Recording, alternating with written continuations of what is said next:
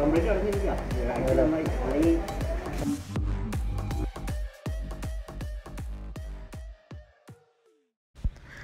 മച്ചമാരെ നമ്മുടെ പുതിയ വീഡിയോയിലേക്ക് എല്ലാവർക്കും സ്വാഗതം. അപ്പോൾ മച്ചമാരെ നമ്മുടെ ഈ ഒരു ബൊലേറോയ്ക്ക് ചെറിയൊരു കംപ്ലയിന്റ് വന്നിട്ടുണ്ട്. എന്താണെന്ന് വെച്ച് കഴിഞ്ഞാൽ നമ്മൾ കുറച്ച് ഓടി കഴിയുമ്പോഴത്തേക്കും തന്നെ വണ്ടിയുടെ ടെമ്പറേച്ചർ ഹൈ ആവുകയും പിന്നെ അതിന്റെ അലാം വന്നുകൊണ്ടിരിക്കുകയാണ്. അപ്പോൾ ഈ ഒരു ഹൈ ടെമ്പറേച്ചർ ആവുന്നത് നമ്മൾ പെട്ടെന്ന് മനസ്സിലാക്കിയത് ഈ ഒരു വാഹനത്തിൽ തന്നെ അതിനൊരു ഇൻഡിക്കേഷനും കൂടാതെ വോയിസ് ആയിട്ട് അനൗൺസ് ചെയ്യുകയും ചെയ്തു. അതുകൊണ്ടാണ് കേട്ടോ നമ്മൾ പെട്ടെന്ന് അത് മനസ്സിലാക്കിയത്. അപ്പോൾ നമ്മൾ നേരെ വർക്ക്ഷോപ്പിലേക്ക് പോയിക്കൊണ്ടിരിക്കുകയാണ്. അടിമാലിലാണ് പോകുന്നത്. നമ്മുടെ ഈ ഒരു വാഹനം രണ്ടായിരത്തി പതിമൂന്ന് മോഡലാണ് ഇസഡ് എൽ എക്സ് വേരിയന്റ് ആണ്. അപ്പോൾ ഇതിന്റെ ഒരു ഒരു ഷോർട്ട് റിവ്യൂ നമ്മൾ ചെയ്തിട്ടുണ്ടായിരുന്നു. അപ്പോൾ ആ ഒരു വീഡിയോ കാണാത്ത എല്ലാവരും ആ ഒരു വീഡിയോ കൂടെ കാണണം കേട്ടോ. അപ്പോൾ ഇങ്ങനെ എൻജിൻ ടെമ്പറേച്ചർ ഹൈ ആവാൻ കുറേയേറെ കാരണങ്ങളുണ്ട്. ഒന്ന് നമ്മുടെ റേഡിയേറ്ററിന് ലീക്ക് ഉണ്ടെങ്കിൽ വെള്ളമെല്ലാം പോയിട്ട് ടെമ്പറേച്ചർ ഹൈ ആവാൻ ചാൻസ് ഉണ്ട്. പിന്നെ എന്താണെന്ന് വെച്ച് കഴിഞ്ഞാൽ റേഡിയേറ്ററിലേക്ക് വരുന്നതും പോകുന്നതുമായിട്ടുള്ള പൈപ്പുകളുണ്ട്. അതിൽ വല്ല കംപ്ലൈന്റുകൾ ഉണ്ടെങ്കിൽ ഇങ്ങനെ സംഭവിക്കാം. പിന്നെ തെർമോസ്റ്റാറ്റ് വാൽവ് അടഞ്ഞു പോയി കഴിഞ്ഞാലും ഇങ്ങനെ സംഭവിക്കും. പുറമേ നോക്കിയിട്ട് നമുക്ക് അങ്ങനെ കംപ്ലൈന്റുകളൊന്നും കണ്ടില്ല. അപ്പോൾ നമ്മൾ നേരെ ഇത് അടിമാലിലുള്ള ഒരു വർക്ക്ഷോപ്പിലേക്ക് എത്തിയിട്ടുണ്ട്. ഇത് മഹേന്ദ്രയുടെയൊക്കെ എല്ലാ വണ്ടികളും കൂടുതലായിട്ട് വെറിറ്റോയും ലോഗനൊക്കെ നോക്കുന്ന ഒരു വർക്ക്ഷോപ്പാണിത്. അപ്പോൾ അടിമാലി ഇപ്പോൾ നമ്മുടെ ബൊലേറോ ഉള്ളിലേക്ക് കയറ്റി വിട്ടു ഇത് അടിമാലി കറക്റ്റ് സ്പോട്ട് ചാറ്റുപാറ എന്ന് പറഞ്ഞ സ്ഥലത്താണ് ഈ ഒരു വർക്ക്ഷോപ്പ് ഉള്ളത്. ഈ ഒരു വർക്ക്ഷോപ്പിൽ മഹേന്ദ്രയുടെ കാറുകളാണ് കൂടുതലായിട്ടും ചെയ്യുന്നത്. കൂടുതലായിട്ടും വെറിറ്റോ ലോഗണൊക്കെയാണ്. അപ്പോൾ അതിന്റെ എഞ്ചിനും കാര്യങ്ങളൊക്കെയാണ് കേട്ടോ ഈ ഇരിക്കുന്നത്. ഒരു ലോഗന്റെ എഞ്ചിനാണ് അപ്പോൾ ഇതിന്റെ എഞ്ചിനൊക്കെ ഇവിടെ ചെയ്യുന്നതാണ്. ഇത് ലോഗന്റെ തന്നെ ഓയിൽ പമ്പ് പമ്പാണെന്നാണ് എനിക്ക് തോന്നുന്നത്. അപ്പോൾ ഇതാണ് നമ്മുടെ ഈ ഒരു ബൊലേറോയുടെ എൻജിൻ വരുന്നത്.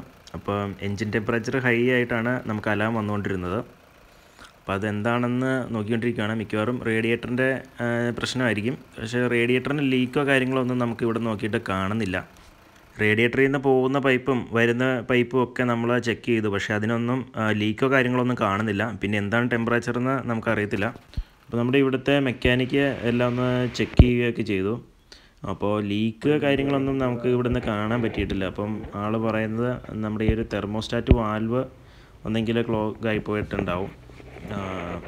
അങ്ങനെയായിരിക്കും കംപ്ലൈന്റ് വന്നിരിക്കുന്നത്. പിന്നെ മെയിനായിട്ടുള്ളൊരു പ്രശ്നം എന്താണെന്ന് വെച്ച് കഴിഞ്ഞാൽ നമ്മുടെ റേഡിയേറ്ററിൽ ഇങ്ങനെ കുറേ നാളുകളായിട്ട് നമ്മൾ ക്ലീൻ ചെയ്യാതെയൊക്കെ ഇരുന്നുകൊണ്ട് തന്നെ അടഞ്ഞു പോയിട്ടുണ്ടാവുന്നതാണ്. ഷെല്ലുകളൊക്കെ അടഞ്ഞു പോകാൻ ചാൻസ് ഉണ്ടെന്നാണ് പറയുന്നത്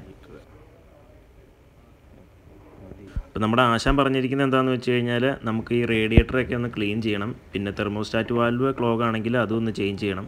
പിന്നെ ഇതിൽ വന്നിരിക്കുന്ന പൈപ്പുകൾ നമുക്ക് എല്ലാം തന്നെ മാറ്റണം എന്നാണ് പറയുന്നത് കാരണം ഇതൊക്കെ ദ്രവിച്ചൊക്കെ ഇരിക്കുവാണ്. ഇപ്പം അപ്പോൾ അതിങ്ങനെ ഉള്ളിൽ നിന്ന് ഇങ്ങനെ പൊടിഞ്ഞ് പൊടിഞ്ഞ് വന്നിട്ട് ആണ് നമ്മുടെ ഈ ഒരു റേഡിയേറ്ററൊക്കെ ക്ലോഗ് ആകാനുള്ള കാരണം.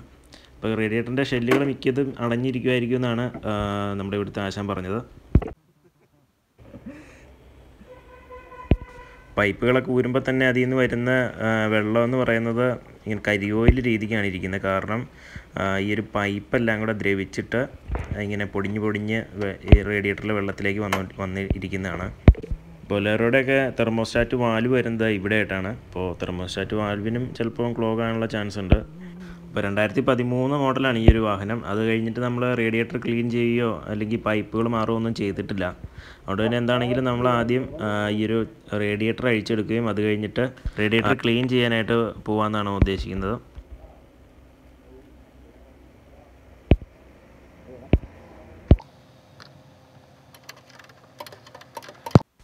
അപ്പോൾ അങ്ങനെ നമ്മുടെ ഈ ഒരു റേഡിയേറ്റർ അഴിച്ചെടുത്തു.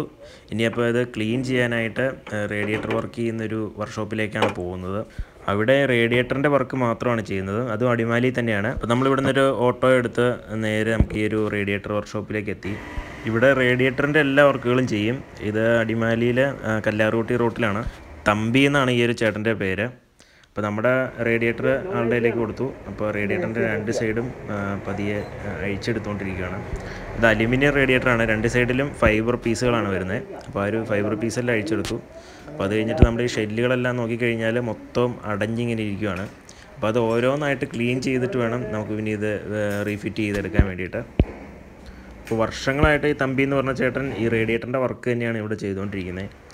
അപ്പം ഈ നമ്മുടെ ഓരോ ഷെല്ലുകളായിട്ട് ആൾ ക്ലീൻ ചെയ്തുകൊണ്ടിരിക്കുകയാണ് ഇതിലേക്ക് വെള്ളം കടത്തി വിട്ടുകൊണ്ട് തന്നെ ചെറിയൊരു കമ്പി ഉപയോഗിച്ചിട്ടാണ് ക്ലീൻ ചെയ്യുന്നത്. അപ്പോൾ എത്ര മോശം റേഡിയേറ്റർ ആണെങ്കിലും തമ്പിച്ചാട്ടന്റെ കിട്ടിക്കഴിഞ്ഞാൽ അത് എങ്ങനെയെങ്കിലുമൊക്കെ പുള്ളി അത് റെഡിയാക്കി എടുക്കും. അപ്പോൾ തമ്പിച്ചേട്ടൻ നമ്മുടെ റേഡിയേറ്റർ പകുതി ക്ലീൻ ആക്കിയപ്പോൾ തന്നെ വെള്ളത്തിന്റെ അവസ്ഥ ഇങ്ങനെയാണ്. റേഡിയേറ്ററിൽ നിന്ന് പോകുന്ന പൈപ്പുകളൊക്കെ ഇങ്ങനെ ദ്രവിച്ചിട്ട് ഇരിക്കുമായിരുന്നു അതുകൊണ്ടാണ് ഇങ്ങനെ കളർ വന്നത്. നമ്മുടെ റേഡിയേറ്റർ റെഡിയാക്കി എടുത്തിട്ടുണ്ട്. അപ്പോൾ തമ്പിച്ചേട്ടൻ ഒരു രണ്ട് മണിക്കൂറോളം എടുത്തു ഈ ഒരു ഷെഡുകളെല്ലാം ക്ലീൻ ചെയ്ത് ഒട്ടിച്ചൊക്കെ എടുക്കാനായിട്ട്.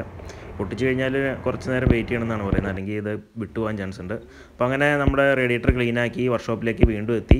അപ്പോഴേക്കും ഇവിടുത്തെ മെക്കാനിക്ക് നമ്മുടെ തെർമോസ്റ്റാറ്റ് വാൽവ് എല്ലാം ഊരിയെടുത്തായിരുന്നു. അപ്പോൾ വാൽവും കംപ്ലൈന്റ് ആയിരുന്നു. അപ്പോൾ പുതിയൊരു തെർമോസ്റ്റാറ്റ് വാൽവും നമ്മൾ സെറ്റ് ചെയ്തിട്ടുണ്ട്. അപ്പോൾ ഇതായിരുന്നു നമ്മുടെ ഒരു പഴയ തെർമോസ്റ്റാറ്റ് വാൽവ്. അത് കംപ്ലൈന്റ് ആയിരുന്നു. അപ്പോൾ അത് മാറ്റിയിട്ട് നമ്മൾ പുതിയൊരു തെർമോസ്റ്റാറ്റ് വാൽവ് വെക്കുവാണ്. അപ്പോൾ നമ്മുടെ ഇവിടുത്തെ മെക്കാനിക്ക് നമ്മളെ പഴയ വാൽവ് എടുത്ത് അതിന്റെ വർക്കിംഗ് ഒക്കെ ഒന്ന് പറഞ്ഞു തരുവാണ്.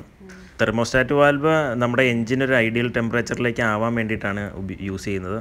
ഇത് മെയിനായിട്ട് ഉപയോഗം വരുന്നത് നല്ല തണുപ്പുള്ള പ്രദേശങ്ങളിലൊക്കെയാണ്. പക്ഷേ ഈ ഒരു തെർമോസ്റ്റാറ്റ് വാൽവ് കംപ്ലൈന്റ് ആയി കഴിഞ്ഞാൽ നമ്മുടെ ഓവർ ഹീറ്റ് ആകാനൊക്കെയുള്ള ചാൻസ് ഉണ്ട്. അപ്പോൾ നമ്മുടെ തെർമോസ്റ്റാറ്റ് വാൽവ് പുതിയത് വെച്ചിട്ട് നമ്മൾ സെറ്റ് ചെയ്തുകൊണ്ടിരിക്കുകയാണ് അപ്പോൾ അങ്ങനെ നമ്മുടെ പുതിയ തെർമോസ്റ്റാറ്റ് വാൽവ് സെറ്റ് ചെയ്തു. ഇനി നമുക്ക് റേഡിയേറ്ററും കൂടെ ഫിറ്റ് ചെയ്ത് പൈപ്പുകളെല്ലാം ഒന്ന് മാറിക്കഴിഞ്ഞാൽ നമ്മുടെ വണ്ടിയുടെ ഈ ഒരു കംപ്ലയിന്റ് എല്ലാം മാറി കിട്ടും. അപ്പോൾ നമ്മുടെ ജീപ്പിലാണെങ്കിൽ പോലും ഇങ്ങനെ തന്നെയാണ് സെയിം സിസ്റ്റം തന്നെയാണ്. തെർമോസ്റ്റാറ്റ് വാൽവും റേഡിയേറ്റർ ആണെങ്കിൽ ഈ ഒരു സെറ്റപ്പ് തന്നെയാണ്. ഇടയ്ക്ക് ഇതുപോലെ നമ്മുടെ റേഡിയേറ്ററൊക്കെ ഒന്ന് ക്ലീൻ ചെയ്തിടുന്നത് എന്തുകൊണ്ടും നല്ലതാണ്. അടുത്തായിട്ട് നമ്മുടെ ക്ലീൻ ചെയ്ത് വെച്ചിരിക്കുന്ന റേഡിയേറ്റർ നമ്മൾ ഫിറ്റ് ചെയ്യാൻ പോവുകയാണ്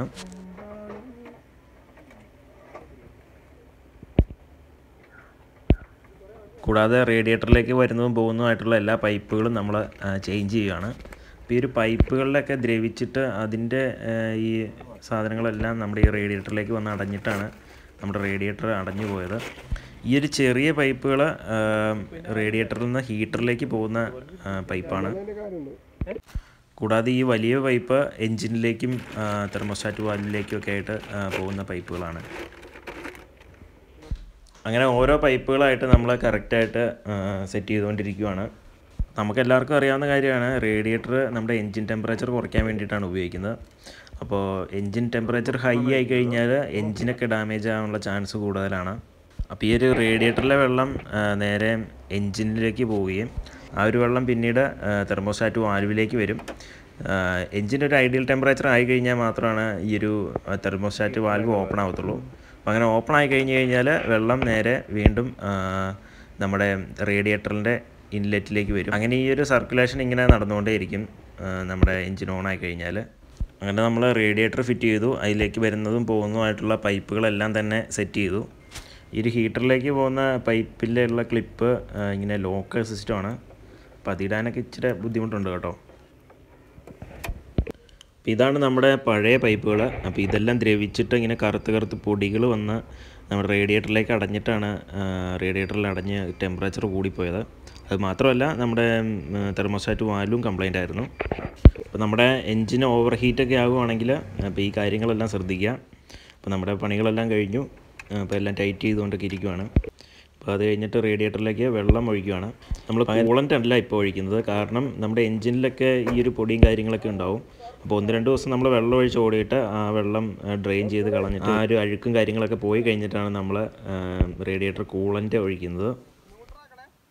ഇപ്പോൾ നമ്മുടെ വണ്ടി സ്റ്റാർട്ട് ചെയ്യാൻ പോവുകയാണ്. സ്റ്റാർട്ട് ചെയ്ത് ലീക്ക് കാര്യങ്ങളൊക്കെ എന്തെങ്കിലും ഉണ്ടോ എന്ന് നോക്കാൻ പോവുക അതുകൂടെ കഴിഞ്ഞ് നമുക്ക് വർക്ക്ഷോപ്പിൽ നിന്ന് ഇറങ്ങാം.